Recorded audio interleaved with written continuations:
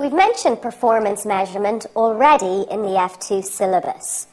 When we looked at the variances chapter in particular, we said that a manager's performance could be measured against to what extent they had achieved the standard or target costs and revenues set during the budgeting process.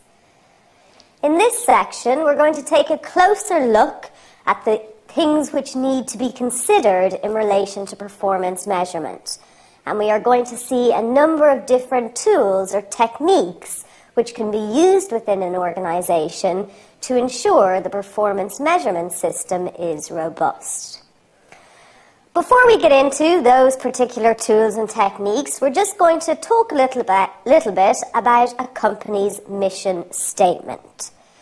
Now, a company's mission statement is something that's quite high level. What it effectively does is describe the purpose um, or the reason of existence for the organization. So we'll just note down our definition. A mission statement is a statement that describes the basic purpose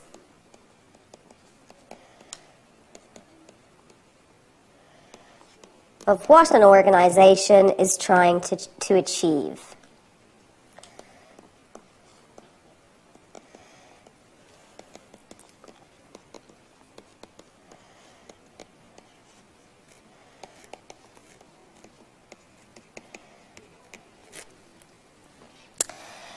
So, as I said, it's the basic purpose of an organization. Now, the mission statement isn't going to be particularly long. In fact, it shouldn't really be longer than perhaps a paragraph. A mission statement doesn't include detail or financial information, so it wouldn't suggest what the company expects their profits or their growth to be over the next one to three years. It is a very high level statement. So, for example, a quality airline might have as a mission statement to be the premier airline and first choice for all travellers. Um, it's perhaps a bit brief, but you get the idea. Just a high level description of the purpose of the organisation. So, why do we have a mission statement?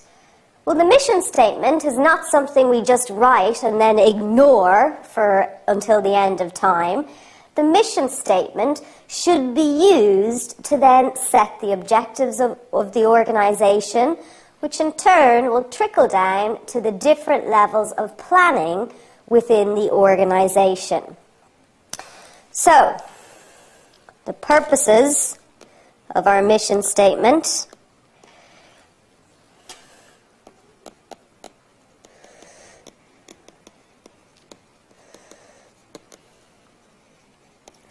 If you like, the mission statement should form the basis of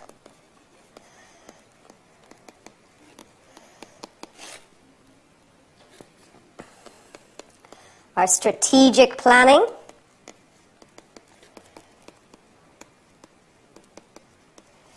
So, if we are a premier airline, our strategic planning will include how are we going to ensure our position within the premium airline market over the next number of years. That is going to link in then to our tactical planning.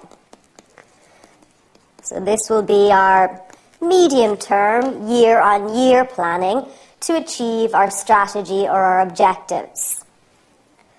That in turn will link to our operational planning. So, planning our day to day activities. So, for example, operational planning, um, ensuring that our service standards in flight are maintained, and all those day to day things which contribute to ensuring we are a premier airline. So, our mission statement then is linked to the different levels of planning within our organisation.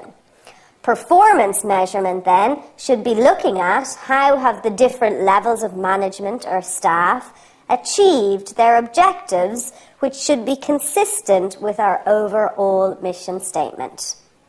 Before we get into further detail on performance measurement, one important thing to be aware of is the external factors which can influence the performance of a company. Now, we need to be aware of these um, external factors because these external factors are things which are outside of management's control. So therefore, they may cause, have a negative impact on the company's performance, but really our management and staff should not be penalised for this. So for example, when we looked at our variances, one of the variances we saw was our materials price variance. And we said that the purchasing manager's performance could be measured against achieving our standard cost per unit um, of our materials. But what if inflation in the year is much higher than we expected it to be when we did our budgeting process? If inflation is much higher than expected, that's likely to push the material costs up and make it very, very difficult, if not impossible, for the purchasing manager to achieve the standard cost per unit. So we need to be aware of that then when we're assessing the purchasing manager's performance. So our first external factor then is inflation. Another external factor which may affect company performance government policies.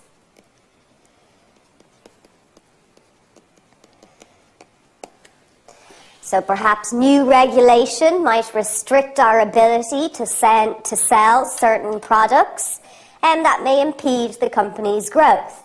Perhaps new health and safety laws may increase the costs for a company, and so on.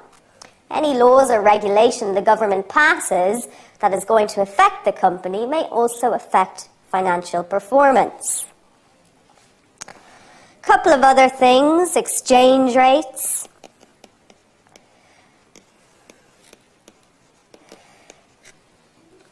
This should be clear enough. If we are a company based in the UK and say we purchase, um, our suppliers are predominantly in the Eurozone. So let's say they're in France.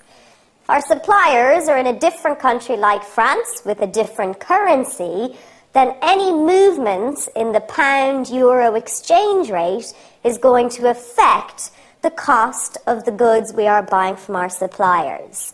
So, in that way, just movements in the FX rates affect our costs.